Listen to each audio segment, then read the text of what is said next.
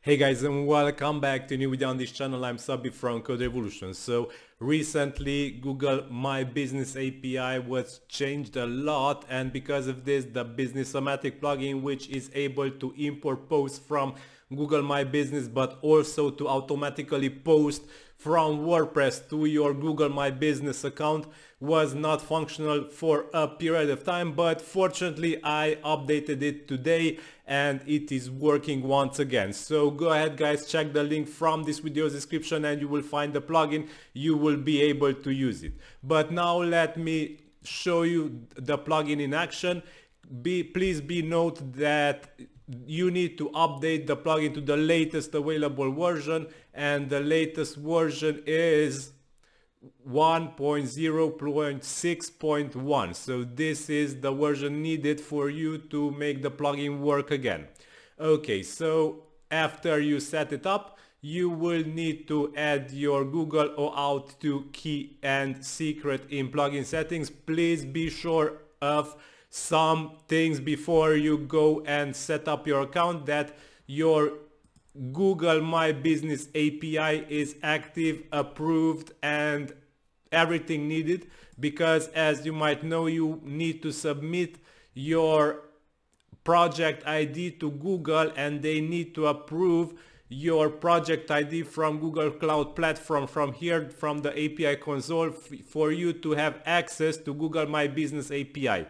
After you get access to this, you will need to do two more things. So you need to eh, enable also the My Business Business Information API. So be sure to enable this and also enable the My Business Account Management API. So these two additional APIs were added recently by the Google developer team and these two APIs are needed by the plugin. So these two are required by the plugin now to be enabled on your account. Please note that this was not a requirement back in 2020 or 2021. This is a requirement now in 2022 and onwards from here because Google changed the how the API functions and they now require the My Business Business Information API and my business account management API to be enabled for the plugin to function.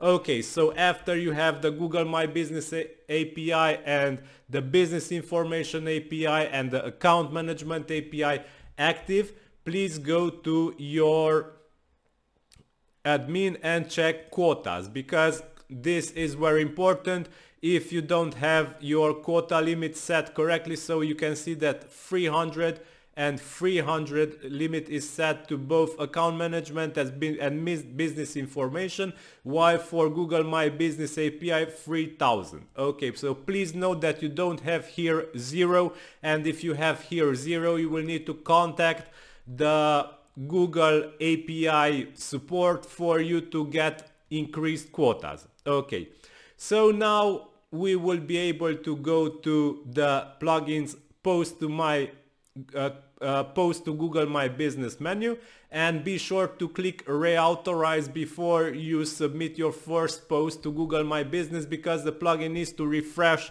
its functioning. Afterwards select the business listing that you got from here, click Save Settings and now we will be able to submit our first post once again to Google My Business. So this is my business listing here on Google My Business profile manager. These are my posts. I haven't submitted any posts from July 2021.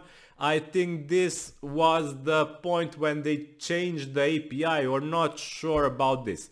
However, let's go back and create a new post testing Google My Business API. Let's add also some text here. Let's set a featured image, set featured image, and now we can go ahead and publish this. we can see the published post here and if we go to the post here we should see also and yeah here it is our testing Google My Business API with our image is posted also to my Google My Business profile so yeah it was a lot of work. So trust me guys on this, it was a lot of work to make this uh, feature of the plugin work again. So yeah, the Google My Business API changed a lot and uh, it was quite hard to implement the changes. Now let me delete the post that I imported and let me show you that the plugin can also import posts from my Google My Business API. So first of all, let's disable auto posting. So the plugin will not import the post and auto post it back to Google My Business profile. And now let's select the business listing from here and let's import two posts, for example. And let's check my test site here. It's empty and let's run importing. So now Google My Business API will be the post from the Google My Business API will be imported here. So here it is. The maintain go image and also the image from PHP tips it seems that this post is too recent for it to appear in the API response. It will appear in a couple of minutes probably. Okay, so here it is. These two posts were imported to my site. So now let's delete them and go ahead and okay, so everything is fine. So yeah, I will link the plugin in this video description. Go ahead and check it guys and don't forget, so very very important, be sure to have your account management API and business information APIs active on your Google Cloud platform and your Google Developer Console. So yeah, this is all for today. I hope you enjoyed this video update. For more similar videos, please subscribe to this channel. Until next time, have a nice day. Bye bye.